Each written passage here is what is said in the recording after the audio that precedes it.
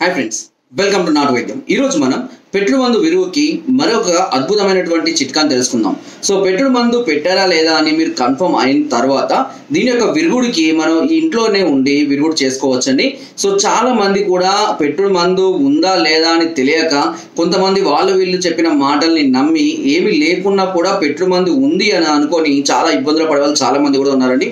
దీని కొరకు బయటకు వెళ్ళి కక్కించుకోవడం పసరు అయినా కూడా సమస్యలు సో చాలా మంది ఈ కడుపులో ఎసిడిటీ వల్ల కానివ్వండి పెప్టిక్ అల్సర్ లాంటి వల్ల కానివ్వండి లేదా ఇంకా మరే ఇతర కారణాల వల్ల కానివ్వండి ఒళ్ళంతా కూడా కడుపులో నొప్పిగా బరువుగా లేదంటే నాభి నొప్పి సమస్యలు ఉన్నా కూడా ఇలాగే ఉంటుందండి. సో దానికి వాళ్ళు ఏమనుకుంటారంటే కడుపులో ఏదో మందు పెట్టారని ఆ మందు వలన ఇలాంటి సమస్యలు వస్తున్నాయని వాళ్ళు వీళ్ళు అనడం సో దానికి వీళ్ళు మెంటల్గా ఫిక్స్ అయ్యి మానసికంగా కుంగిపోవడం అనేది జరుగుతుందండి. అయితే ముందుగా అసలు మందు అనేది ఉందా లేదా? అది టెస్ట్ చేయించుకొని ఆ టెస్ట్లో మీకు నిజంగానే మందు యొక్క లక్షణాలు కానివ్వండి దాని యొక్క సంకేతాలు కానీ కనబడితే ఒకవేళ కనబడకున్నా కూడా ఈ విరుడు మందును మనం ఉపయోగించుకోవచ్చు. అంటే ఇది ఒకవేళ పెట్టుడు మందు ఉంటేనేమో తీసేస్తుంది. పెట్టుడు మందు లేకపోయినా కూడా ఇది మనకు ఎలాంటి హాని చేయదు. అలాంటి ఒక అద్భుతమైనటువంటి చిట్కాను మనం తెలుసుకుందాం. సో ఆ దీనికి కావాల్సింది వల్ల నీలి చెట్టు అండి.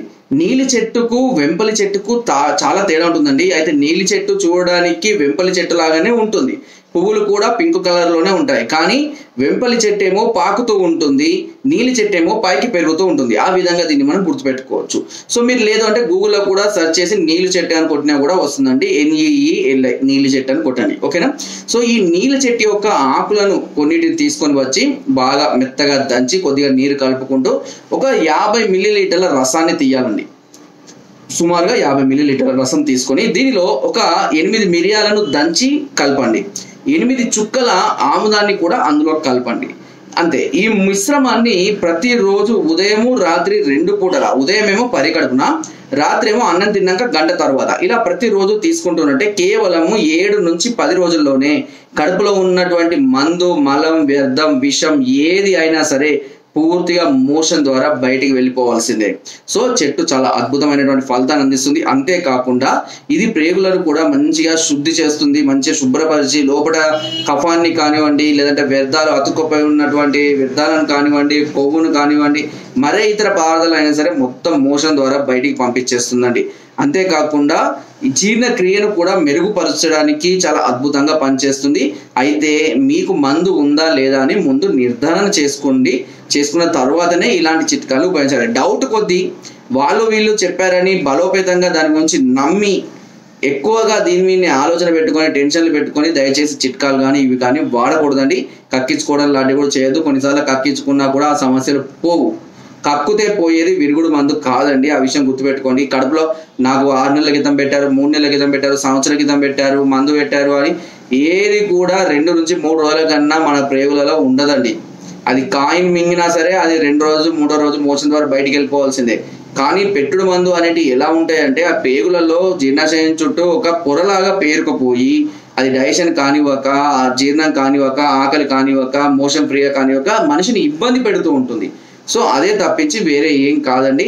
కక్కితే పోయేది కాదు. గడ్డలు గడ్డలు గుటుకులు గుటుకులు గుండ్రాలు గుండ్రాలు కడుపులో ఏదో మూలన సీక్రెట్ లాకులలో ఉండేది కాదండి అది. ఏది మింగినా అది బయటికి రావాల్సిందే. అది మోషన్ ద్వారా వెళ్ళవలసిందే. ఓకేనా? కక్కుతే లోపల ఉన్నది పైకి వచ్చేది అనేది అంత వ్యర్థం అది.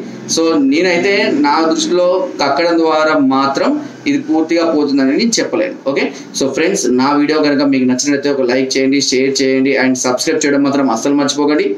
చాలా మంది సబ్స్క్రైబ్ చేయకుండా చూస్తున్నారు. ఇలాంటి వీడియో వీడియోస్ మళ్ళీ మీకు కావాలన్నా కూడా దొరకవు. దయచేసి సబ్స్క్రైబ్ చేసుకోండి దానివల్ల మీకు ఎలాంటి నష్టం ఉండదు బట్ అది నాకు చాలా యూస్ఫుల్గా ఉంటుంది. అండ్ లైక్ చేయండి షేర్ చేయండి. ఒకవేళ మీరు ఇలాంటి సమస్యలతో కనుక దీర్ఘకాలికంగా బాధపడుతున్నట్లయితే ఒకసారి మమ్మల్ని సంప్రదించండి. దీని కొరకు కింద స్కోర్ నెంబర్స్కి ఫోన్ ద్వారా కానీ వాట్సాప్ ద్వారా కానివ్వండి లేదా కింద డిస్క్రిప్షన్ మా యొక్క అడ్రస్ కూడా నేరుగా వచ్చి కూడా మీరు ఈ పరీక్షలు కానివ్వండి లేదా మరే ఇతర సమస్యలకు సంబంధించినటువంటి పరిష్కారాల కోసం కూడా మమ్మల్ని సంప్రదించవచ్చు. మీరు రాలేని పరిస్థితులు ఉంటే మీరు సమస్యను తెలియజేసి కూడా మెడిసిన్ని మీరు కొరియర్ ద్వారా తెప్పించుకునే అవకాశం కూడా నాటు వేయించాలని మీకు అందిస్తుంది.